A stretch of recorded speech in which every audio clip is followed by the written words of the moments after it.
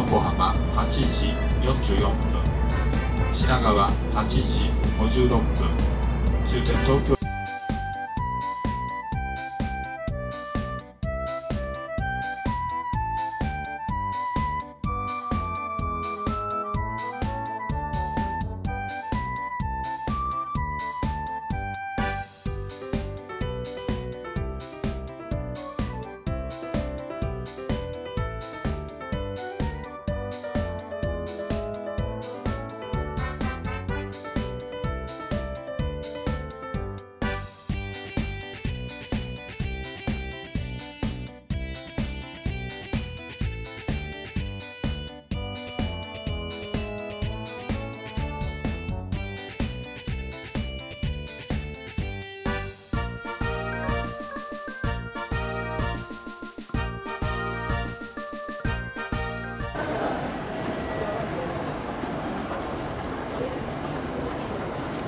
やってみたら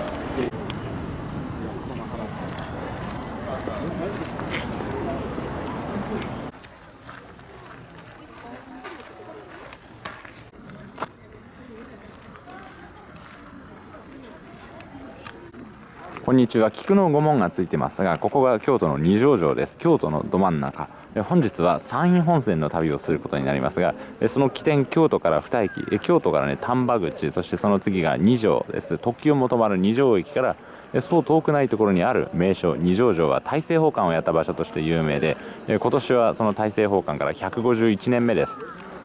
二条城はもともと徳川家によって造営されたものですがその後皇室に使われるというか接収というのかなあの皇室の使用するものになりまして今も宮内庁が管理しているそうです。でただ先日台風が来ましてそれでこの辺りが剥がれてしまったそうですけれどここにですね昔の徳川時代の葵の御門が出てきたということであの明治時代にこういう家紋を付け替えたんですよなんてそんな話をさっき一緒にいる中村さんとしてたんですがまさにそれがね見られてこれはかなり貴重な眺めです。今日いい時に二条城に来ましたよ。京都の街中にあってね今二条城の昔天守閣があったところに登ってるんですけど大体こんな感じ。あこういう正方形よりもちょっと横に長いぐらいの形をしたところだったんだな、まあ、それぐらいのことは分かります。天守閣っていうのは二条城にもあったようですけど江戸時代寛寛永かどっかねそのぐらいの寛永じゃないか。1750年とかそれぐらいの時にねあの落雷で燃えてしまってからは再建されなかったと。あの江戸城もそんな感じだそうですね。もう必要ないからだそうです。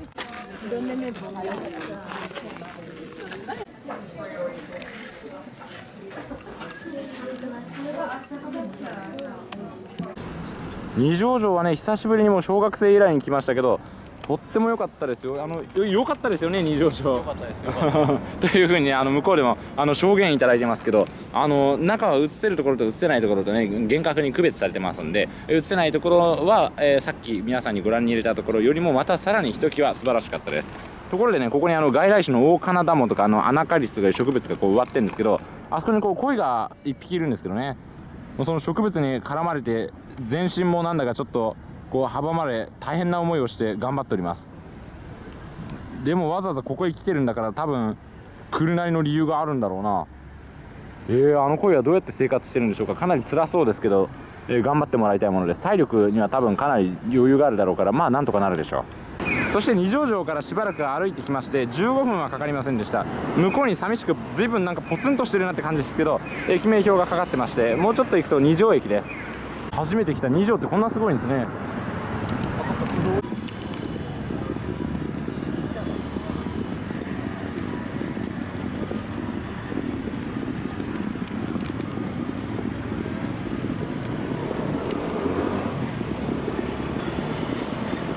個性だ。この二条駅から乗り込むのが山陰本線普通列車です。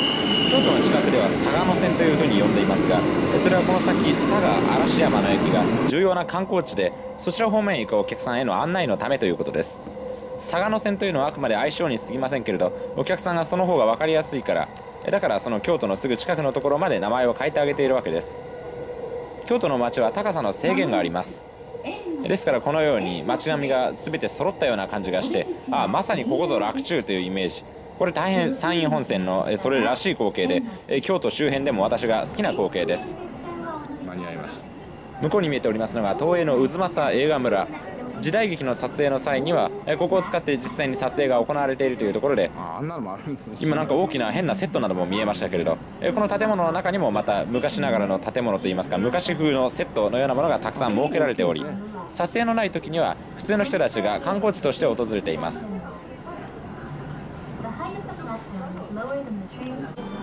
到着しました。佐賀嵐山駅。昔は佐賀という駅名でしたが嵐山へのアクセスにということでえ嵐山の名前を追加したんだそうです。中村さんから教えていただきました。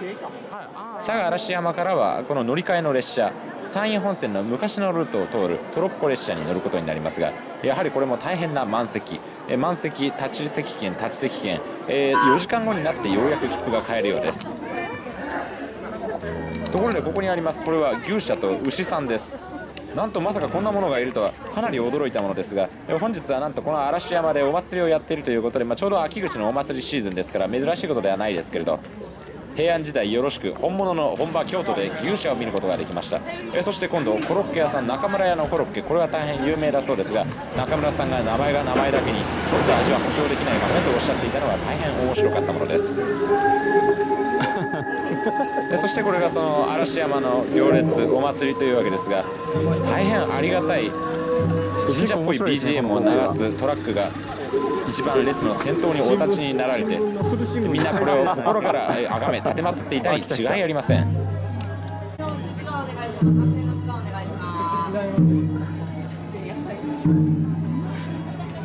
この後のこの行列は本当にそれっぽくありがたいものでしたがえ自動車の通行止めなどがあったのでえあまりそれと一緒に取られてえ道を渡れなくなったり進めなくなったりしたら困るなと私たちもいろいろ考えていたんですがえちょうど都合のいいところですぐにこのところから曲がってくれました。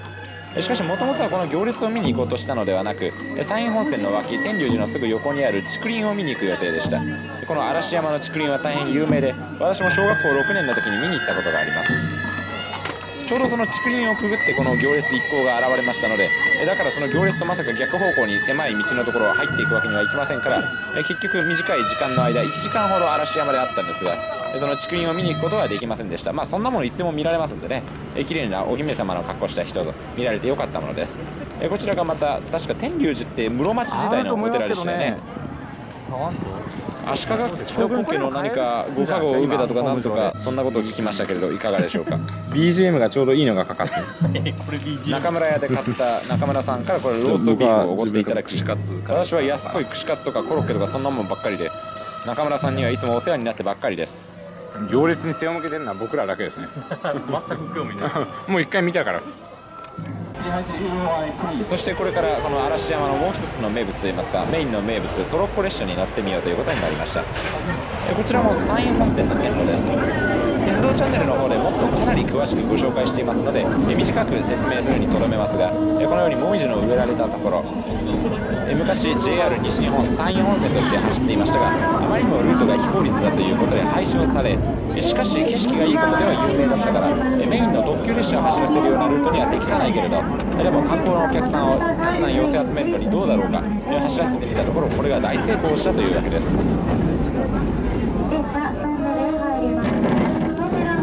結構揺れるブロッコ列車ガチャガチャと大きな振動とえそれから外のリアルな音を聞き山陰本線の馬堀というところまでやってきました。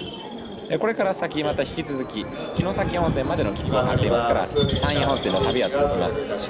ここまでのルートのところトロッコ列車も山陰本線の仲間ではありましたが別に切符が必要でした。また中村さんがぜひにということでその2つ先だと思いますが浪川という小さな駅を降りてそこにはまた昔山陰本線で使っていた0051というかっこいいディーゼル機関車がありましたのでそれを一緒に見に行ったわけです。おまけに新幹線も置いてありました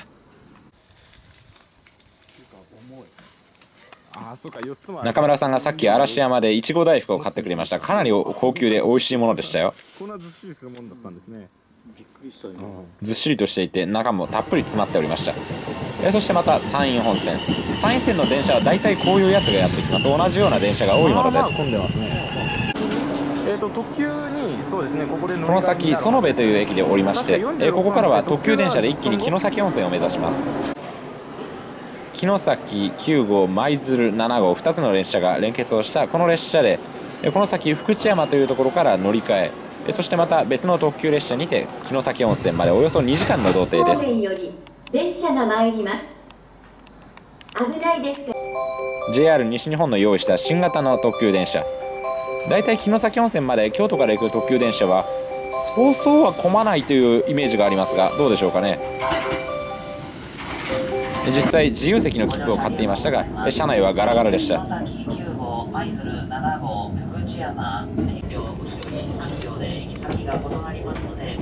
こんな感じでもう2人でゆったりと4人用のボックス広々と使ってお互いにぐっすり眠るということをしました。私もこのような感じで寝てるわけですけどあのね寝てる姿を映そうと思って自分を撮ってったら本当に寝てしまいまして自分の寝ている姿が十何分もずっと映されるという状態になっていました。そしてそろそろそんなことを寝ている間にもう間もなく福知山という駅に着きます。この列車の終点です。乗り換えが必要になります。この福知山という駅は実は京都では2番目に大きな町なのですが京都の第2の町と言われるとどこかと意外と思い浮かばないものです。大阪第2の町は堺市でいいのかな？今その説明をしている間向かい側にやってきました特別急行城崎失礼特別急行。今度コウノトリというものに乗り換えこの城崎号が福知山の駅に到着するのに合わせて大阪からやってきたコウノトリ号もタイミングをうまく合わせ同時に到着。そしてわずか2分の乗り換えでこのコウノトリという特急列車にてそのまま城崎温泉まで向かうことができます。通常です。特急列車は乗り換えをすると随分と料金が高くなってしまうのですがこれは乗り継ぎを前提としている特急列車のため随分安くなるように設定してくれています。っきり言って山陰本線の景色はそれほどこの辺りでは変わり映えありませんので、まあ、どこで寝ていてもまあ問題ないんじゃないかなと。これ正直言うとそんな感じがするものです。今途中豊岡というところに着きました。伊豆市という名所旧跡。えそしてまたコウノトリの里公園は天然記念物コウノトリを育てるようなところです。ここから乗り換える電車、まあ、もしくはタクシーなどで向かうことができます。山陰地方の家々には赤い瓦が敷き詰められていてえこれを石州瓦というこの地方の名物ですがえしかしこの列車からはどうも姿を見ることはあまりありませんでした。まだこの辺りは正確には山陰市地方ではないようです。そして中村さんが教えてくださいましたが向こう側にこのように特有の岩肌が見えます。あちらは玄武岩のその名前の由来ともなりました玄武洞で明日また玄武洞に行く動画をご紹介したいと思います。このような感じで奥に大きく切り込んだようなホラー穴が見えそれほど深いものではありませんがこの玄武洞がこの辺りの名所として知られているのです。ちょうどこちらにある玄武洞という駅から降りてそのままえー渡し船に乗り換え向こう側に渡ることができます。船ってあるんですかね今でも。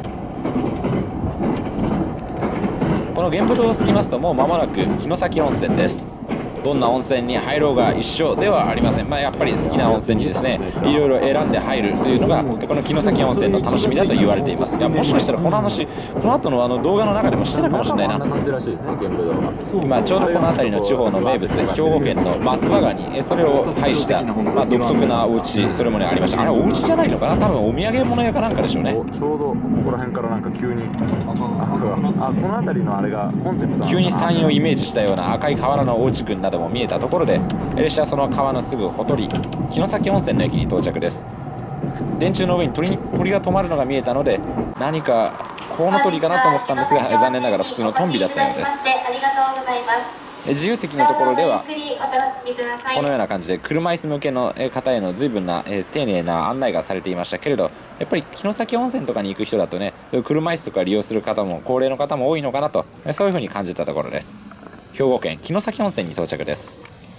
ここ城崎温泉ですね。昔は城崎駅と言ったそうですけど、まあ、私がここへ初めて来た時には、まあ当たり前のように城崎温泉という名前になっていました、まあ、ここは城崎温泉があるところだからなんですけど、ま目の前からですねすでに温泉街になっておりまして駅から最も近い温泉はあそこただし足湯です。こちらはえ陰泉でこれは源泉かけ流しだからまあ当然ね循環の陰泉なんか気持ち悪くて飲めたもんじゃないですから、ま、飲めるんでしょうけど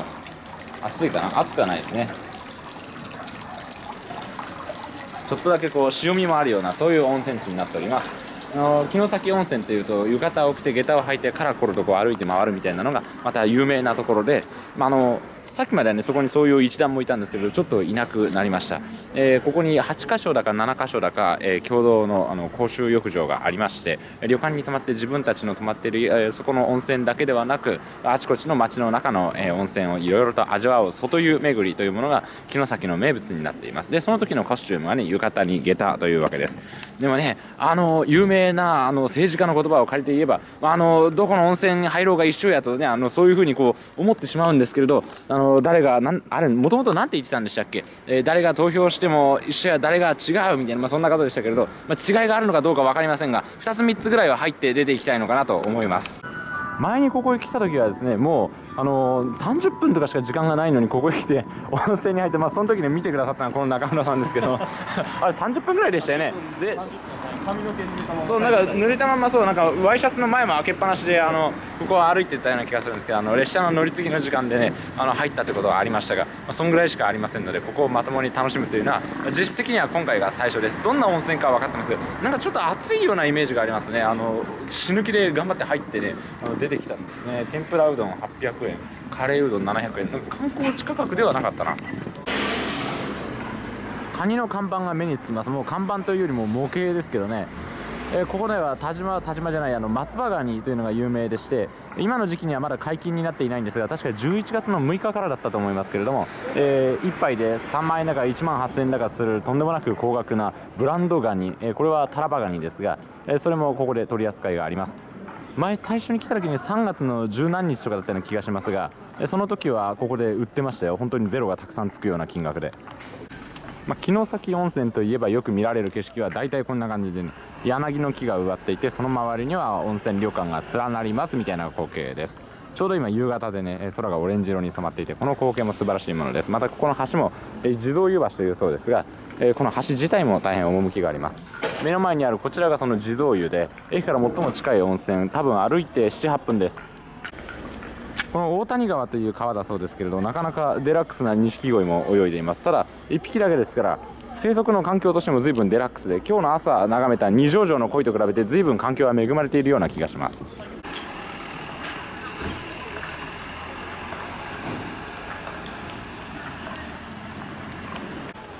この温泉街までは駅から歩いてやはり10分ぐらいですけれどもしかしこのような近いところでも駅からの観光のバス観光バスっていうかあの送迎のバスなども出ておりまして、まあ、かなり便利な感じです。そしてその温泉街の中心ではそこら中から下駄の音がしてきます。みんな浴衣に身を包んで下駄で散歩というわけです。温泉街にいろいろ外湯っていうのはあったんでどこに入りましょうかねとか来る前にホームページで見ててあじゃあここにしましょうか五所の湯とかなんか雰囲気良さそうでいろいろ言ってたんですけどどこもですねもう観光客で混雑しておりましてごった返し。あのあこれちょっとここで温泉入ってお互いに芋煮になってもしょうがないなというわけで、えー一番奥までですね結局そのままの流れで歩いてしまいました。あのここまで歩いて20分かかりまして後ろにはロープウェイもあってこの上の方まで登っていくようなところまあ今から登るような時間ではないと思いますけれど、えーそんな城崎温泉の一番外れのところにあるのがこの河野湯です、えー温泉温泉じゃあの煙突からね湯気がこうやってなんだか上がっていてこれも大変いいところですがここはね駐車場も今空いていて人でごった返しているという様子もなく外観そこまでなんだかスーパーデラックスみたいな感じはしないのですが多分ここいいんじゃないのかな。あの落ち着いて入れなければなんかわざわざ入るメリットがあんま感じられないしね。河野湯。外湯の中で最も古くから開けた湯でって書いてある。そうなんですね。除名天皇の御代河野鳥が足の、えー傷を癒したことから発見されたという言われに基づいて名付けられたそうです。まあこんぐらいでいいかなと思いますけれど。散策を兼ねた入浴に適している、えー街路から離れた閑静なそうですね。閑静な湯というのは他にないかもしれないしにぎわっている湯にはこういう城崎温泉に求めるものでねにぎわっている湯というのはほとんどないんじゃないでしょうか。上がってきましてあの結局さっきはねあのどこが一緒だから一緒だから一緒じゃないとかなんかそんな話ばっかしてあのいくつか入るみたいなことをほのめかしましたけど実際行ってみたら1箇所行きゃやっぱ十分ですよね。温泉2箇所も3箇所も同時に入りますか入る気なくない1回入ればね1回だったらねあのまだこれはゆとりの入浴なんですけど2回目以降はこれスポーツ感覚になりますんであのだんだんと体力の限界に挑戦することになってしまう。それよりもあの1箇所の温泉ねゆっくり入ってあのさっきも中村さんと一緒にねあの動画のあのいろんな YouTube YouTube の動画の話とかしたんですけどそういうのねゆっくり1箇所にたたずんでやった方がいいですよ。出たり入ったりを繰り返すっていうのはただ疲れて負担がたまるだけです。そんでこれねアイスクリームですね。これ美味しいですよ。ワッフルコーンのついてるやつ。手元にいろいろこうついてますけどこちらはゴミでございましてあのですね、うん、ゴミ箱のところにゴミを捨ててから去ればよかったんですがそれを忘れてねアイスのまんまで状態で持ってきちゃったもんだから今ゴミを携えて一緒にこの、えー、城崎温泉をゴミと散歩しているというわけです。あゴミというのはあの中村さんのことじゃないですからね。ここにあるこんなことですよ。もともとはねこの御所の湯っていうところに行こうと思ってたんですね。なんかこういう立派な建物ですけどこういう感じね。菊の御門なんかもあしらってるようなところなんですがさっきめちゃくちゃに混んでおりましてこれダメだということで諦めたようなところでした。でも今は空いております、まあ、この1時間で空いたのは多分今が夕ご飯時だからだと思うんですけれど時間を見計らえばねいろいろこの外湯巡りも楽しめそうです。逆に言うとそうでない時間帯は向いていないような時間帯にはまああまりするべきではないことのように思いますね。でここら辺の旅館ねやっぱりね聞いたらば今はお食事の時間らしいんですね。でそうすると食事中はやっぱりすくから一旦ねこの辺りの温泉街のお店も閉まるんだそうです。今そこであのー、なんとか牛まんじゅうみたいなの食べたんですけどそれで教えていただいたんですがびっくりですよね。1回閉まってこの後またあのお食事時が終わったらそうしたらもう1回オープンするって言うんですよ。やるなと。やっぱこの辺りはね1人であの1人でっていうかお家でやってるようなお店が多いらしいので、えー、じゃあ一旦そのお家の人たちもねお客さんがいない今の時間帯でお店を一時閉め休憩そういう風にやるみたいです。このねえー、6時から7時、8時ぐらいのこの時間帯が、あの、特に旅館に泊まらない観光客にとっては穴場の城崎温泉を楽しむ時間なんだなということがよく分かりました。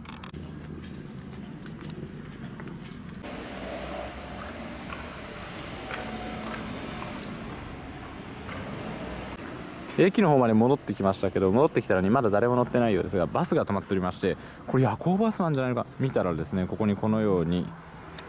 東京と書いてありまして京都経由東京行きの夜行バスがあるんですね。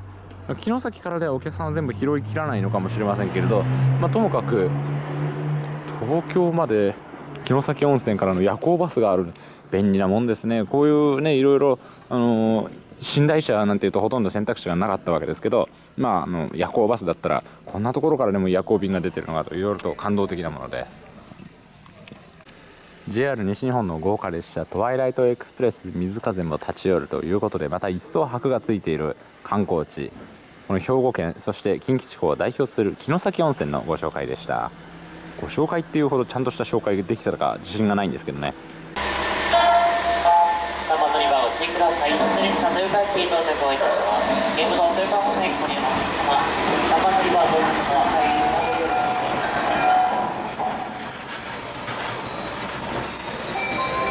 いろんな曲が交互になって忙しいんですが前にこの車に乗った。時は色が違った。な